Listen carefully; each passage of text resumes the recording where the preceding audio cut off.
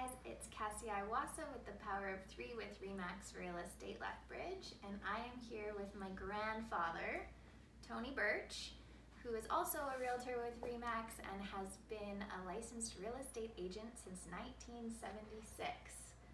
That's right. Yes. So for all of you that don't know, I am a third generation real estate agent. My dad's also a realtor, and Joanne, who is also in the Power of Three, is my aunt. So we have all followed in the footsteps of my grandpa, and he's gonna tell us uh, how he made the decision to start selling real estate back in the 70s. Okay, uh, it's actually quite interesting how this all happened. Um, my dad and I had a farming operation east of Taber, and we decided in about 1975 to sell the operation. So I listed it with uh, an agent out of Lethbridge, and I won't mention his name because it's another story. Uh, another real estate company out of Lethbridge. But anyway, uh, uh, it was listed for in the springtime, and then uh, uh, about if I remember right, June or July, I get a phone call from this agent in Lethbridge asking me if I'm going to be home that day, and I said, "Sure, I'll be home." Why? Because he's got some people coming through from Ontario who are interested in looking at my place. And since we lived on the highway, on number three highway, they're coming, they're coming through by car from Ontario and they would stop in and talk to me. Sure, that's fine. So uh, that did happen that afternoon. They stopped by and we had a good chat. Matter of fact, they were very interested in my operation, and so we showed them around. I showed them around the the lands and the crops and the, the feedlot that my dad and I had, operation and so on. We talked for quite a while. And then they left, I went to Lethbridge, and that was fun. I didn't think nothing of it. And then the next day, the agent phones again. He says, Those guys want to come out and look at it. Do you, do you mind? I said, No, send them out. That's fine.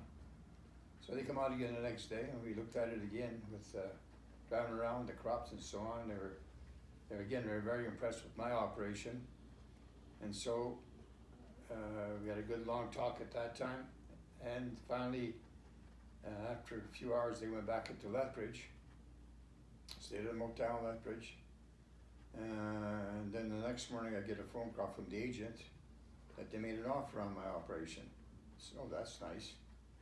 Uh, so anyway, the, uh, the next day he comes out with the offer, this, this agent, and it was it was low, so we countered back at, at that offer. And we went back and forth actually a few times, and finally we come to a settlement. We made a, we made a deal with these people from Ontario. So uh, they were going to take over, uh, if I remember right, middle of middle of uh, March of '75. That's not right because I showed it to him later in March. So anyway, in some in '75, and we made a we made a deal and they were going to take over. And uh, consequently, that was okay. And then we made the deal work, and the lawyers wrote the offer, uh, had the offer signed by us, and so we now have a deal. So then I called back to the agent and I said, "Look, now what are we going to do with this commission? I know you're charging me a commission for this, but you didn't do nothing for this deal. I did it all. I showed it to him twice. Uh, I think we should have a little break on the commission." And he would not do that for me. So we had a good discussion, him and I. And uh, but that's another story. And uh, finally I says, okay, that's, if that's what it has to be, it has to be. So it was. He stuck to his guns and I had to pay full commission on the, on the deal. And he didn't do nothing at all to earn this money. So that's when I thought, no, this is something is not right here. Meantime, mom and I, Cassie's grandma, Joanne's mother, my young wife of 55 years, we decided we are going to go on a trip. Uh, and in the middle of middle of 76 sometime, we decided to go to uh, uh, Tahiti and over to uh, Hawaii and New Zealand. And we went on a trip. So we landed in, in Los Angeles, and there we boarded a plane for Tahiti. And it just happened right beside me, there's a real estate agent there from France. And uh, as you probably know, France uh, is part of, Tahiti is part of France. So he was flying over to France and he had a briefcase with him. So I asked him uh, what he does for a living. He told me he sells real estate in Tahiti and also in France. So he said, matter of fact, you see this case I got with me? I said, yeah. He said, it's full of cash from France. I said, what? I said, I'm taking over uh, the money. This guy from France is buying this piece of property in Tahiti, and I have it in a briefcase. Now, those days you could do that. yeah, I was gonna You say can't that do that couldn't anymore. happen anymore. Yeah. You couldn't, but those days you can do that. So, uh, on the way over to Tahiti, it was about a 12 hour flight from LA. Uh, I thought, well, this, you know what, this might be a good way for me to make a living. So, on the way on a trip, I kept thought about this a long time. Always for the next two weeks, we were gone. On the way back, I said to my young wife, I said, you know what, I think I'm going to sell real estate. She said, you are? Yeah, I believe that's the thing for me. Said, these guys are making all this money selling real estate and do bugger all for it. I sold a farm, I had to pay full commission to this broker in Lethbridge. And, uh, what the hell, why should I, why should I not take part of this action? So, anyway, that's how we got started in selling real estate. So I you did. wanted to change things and be, provide a service that you weren't given. Exactly, and you know, the, the situation was that, uh, uh, a farming operation, I had experience in, in corn and sugar beets and cattle and everything else, so I thought, well, I'd be, I'd be really like to sell, if I could, farms and ranches and so on, because I have, have got the experience. So that helped me a lot as I went, as I moved ahead. So, uh, um, my young wife was really worried about what I'm gonna do, because I was only, uh, just a young guy at that time. Uh, I said, you're too How young old to. were you? Well, what is that, about thirty-five, I think, Okay. in the thirties, late thirties someplace. Yeah. She said, you're too, too young to retire, and then I said, don't worry about it, I'll figure this out, and so that's how I got started in real estate. And, uh, I learned lots of hard lessons from other, other realtors that, uh, uh, I didn't trust too much, but I mean, it was a good, good experience for me to work with other realtors. And, uh, I am, selling real estate even to this day Yeah. specializing in farms and ranches. I did sell a bunch of houses. We lived, we moved to Taber at that time. So uh, Taber market was pretty good for me and we sold a lot of houses and that's where Taber area, we had a ranch on there and that's where I raised my three girls. Right. So you did do residential, but now you mostly focus on farms. Yeah, because I give the business of the, if someone comes up for housing, people still call me and then I, I call Joanne or I call Cassie and they take over the housing business and then we have my daughter Sherry here, she's a mortgage girl, so she works quite well in the business also. Mm-hmm. So what was it like back then to sell a house? Was it like I know there's lots of paperwork and everything now, and there's lots of different rules. big time rules changes a lot. Those times I can, uh, in order for me to sign up a listing was one page. Uh, offer to purchase was one page. Very simple. Now you got pages up to what, 10, 13 pages, Mm-hmm. all kind of papers to work after that. A handshake probably meant you had a deal. Yeah. I, um, so, you know, selling real estate, I'm glad you brought that up, Cass, because selling real estate, uh, the way I used to do it, mentioned the handshake. Uh, I, I did a lot of, a lot of uh, offers in the Taber area especially. And, uh, I had only one deal of all my, all my years of selling real estate, forty-seven, forty-five, whatever it's been, I only had one deal where the person backed out. Otherwise, the rest of them all went together for me. And remember about the we used to do one dollar deposits, Yeah, it's another and then story. that changed. Then it we had to up it, so we upped it to a hundred. A hundred dollars. Yeah, that's true. Now people want five thousand dollars. I remember sending in our deals, and we had a loonie or a dollar. Like yeah, Yeah, And right. interest rates. What were interest rates like back then? Interest rates are terrible. So the, uh, uh, about nineteen seventy-eight, the Alberta government came up with a program for farmers. It was called the Beginner Farm Loan. And they would finance the farms up to two hundred thousand dollars, uh, with almost nothing down. I sold a lot of farms for two hundred thousand dollars with one dollar down. Rest of it, one ninety-nine, nine ninety-nine, financed, as long as the dad, the young fellow who was buying a farm, co-signed and helped him out with the machinery. So that was in the late seventies. Then about eighty-one when the, hit the fan, I did, I told him he has to watch his language. when it hit the fan, uh, eighty-one, I think, I started the high interest rate policy. And, um, a lot of those farmers who did buy, at that land at two hundred thousand a quarter. Uh, couldn't make it because their your operating loans were expensive because of interest rates. And, uh, there was a lot of foreclosures at that time.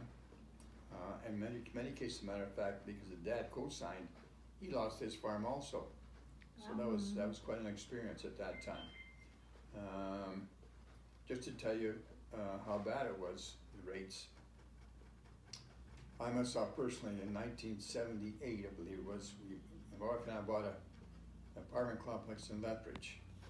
And, uh, I put down two hundred and fifty thousand dollars, the deal was, um, I think around three million dollars.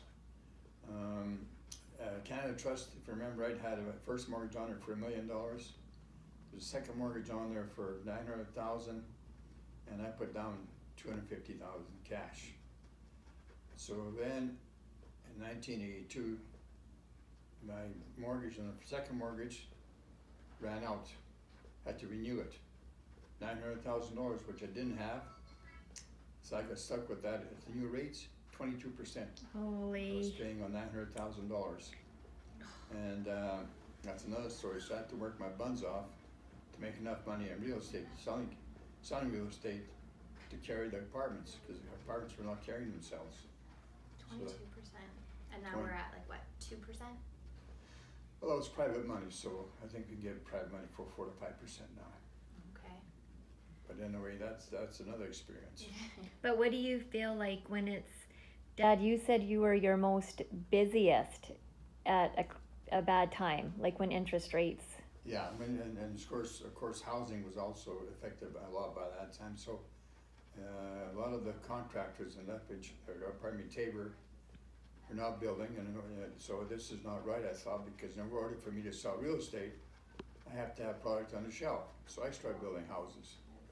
And I built, uh, a plan that was nine hundred and twenty square feet, two-bedroom bi-level, uh, with a huge deck off the back, and the deck was what sold the property, actually. One car garage, was selling those for forty-five thousand dollars, including the lot. And, uh, as I was building, they're always pre-sold, I had, I never pre-sold them actually, as they, they went about half, half built and people come by and made the offer. So I had, I built about 40, 50 houses then, I think, if I remember right. Um, but back in the, uh, before that happened yet, uh, mortgage rates were expensive also in housing, I think they're around 15, 16 percent. But the Alberta government at that time had a program where they can subsidize some of that rates, you can, you can collect them back from the government, so. And there was um, also programs there, first time home buyers. The government would give four thousand dollars, right, for first time home buyers. Yeah, they had, yeah, good programs. Yeah, that they time. did. Mhm. Yeah, And that wasn't you didn't have to pay that back or anything. yeah, it was like a grant. Yeah. Okay. So So you've obviously seen many ups and downs with the market, and I don't know if I told you, but Lethbridge sales were down about fifty percent in April due to COVID nineteen. So what? So do we always go up? Is this Okay, what's let's, gonna let's, happen? let's go back a little bit. So when these, when these tough times come, and it was hard to sell houses, I put together a, a thought in my mind, and I call it the domino effect. And I would, uh, put a, put together a deal where house number one was moving to house number two, then I had to sell number two at house number three. Down the road, when I put together fifteen pieces of property, and I bought the last piece of property just to make it all happen. So then that one weekend there was fifteen movers going back and forth in the town of Taber. The Movers are coming in the front door, the, the vendors are moving out the back door. That's another story, interesting, but you're right, I mean, so that helped me a lot with the, the tough market.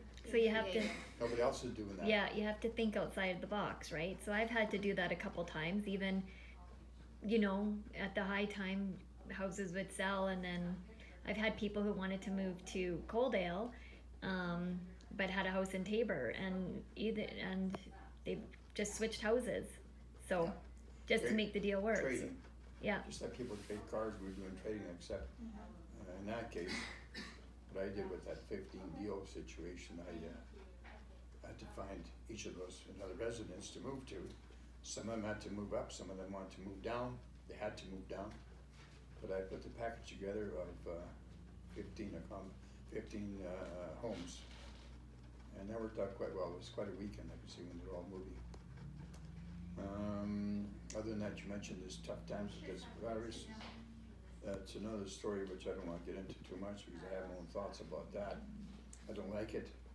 Uh, I think it's far-fetched. I think the media is blown out of proportion.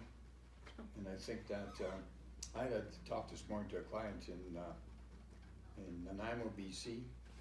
And he's telling me that the, the Nanaimo Chamber, Chamber of Commerce last week had a meeting and they figured that seventy-five percent of the businesses will not reopen in Nan- Nanaimo. That's how bad it is, so, Mhm. uh, this is no good. No. Um, So will we recover?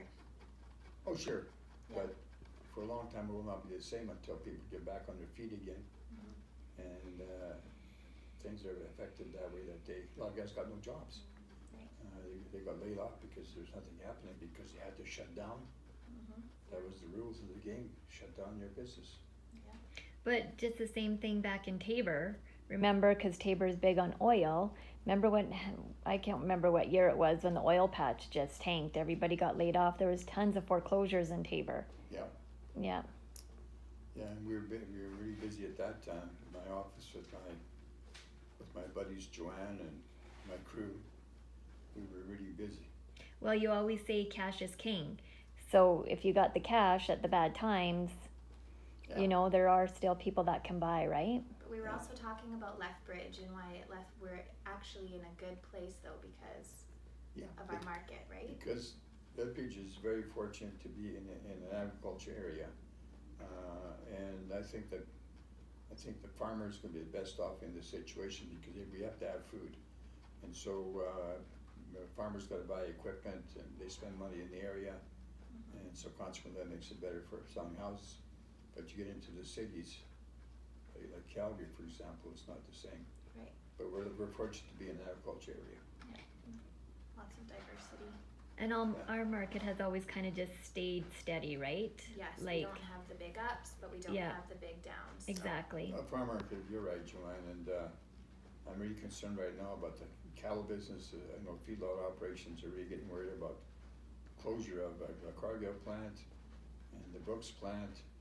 The beef is backed up in the feedlots, and, uh, it's not good at all, but let me go back a little bit to, uh, the prices, okay?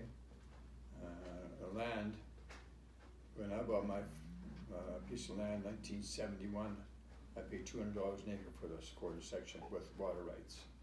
Now they're selling quarter sections of two million to two point five million per quarter with irrigation equipment. So you can see how much difference the land prices have been Mhm. just going up a lot over the last years. Yeah. So consequently, again, like I say, we're lucky that we live in this type of area because we're so diversified with corn and beets and potatoes and grains and cattle operations, hog operations, chicken operations, we've got everything going here. So we're, we're probably better off than any place else in the, in the country. This is the best place to be living in the world today. Because I don't understand why the whole world is shut down on account of this. Don't make no sense to me. Should I talk any more about that? No, that's okay. well, I was excited to do this interview just because even someone outside of the family, when they found out that Tony Birch was my grandpa, they said back in the day there wasn't a real estate deal that didn't have Tony's name on it, and he was a, a legend in the 80s in real estate and you've obviously slowed down now but you're still working harder than you should be Yeah, but I have to, and you know why. Yeah. So for farms and yeah, Commercial and yeah, Yeah. great. Yeah, so, um, that's how I got to be here at this moment, and that's how I started. And what is your slogan? What can I sell you today? And that's how you've built your career, right? Yeah, and then Because you just eventually, ask people. yeah, that's, that's, that's the situation is, when they call you, first thing I usually say to them is, what can I sell you today? How long have you been using that for? Years. Since 1976. I can't remember that far back, but I've been using it for years. But people call me for a reason, so I'll ask them, what can I sell you today? Yeah. And then they'll tell me, no, we don't wanna sell, we wanna buy. Okay, that's nice, what can I, can I sell you again today? And so then I call farmers who wanna sell, can we sell your place today? Mhm. All right. And that's my story. That's your story. It's a good story. We could sit here for hours. It's very interesting, Dad. Yeah. And I've learned everything from you. So thank I'm you. proud of my family and uh, everybody that's involved with me with real estate is, is uh, doing good. I'm really proud of every of my kids and my grandchildren. Cassie, that's third generation. All right. Well, thanks, guys. Bye, Grandpa. Thank you, and uh, we'll talk to you guys later. Sounds good. Kate, bye.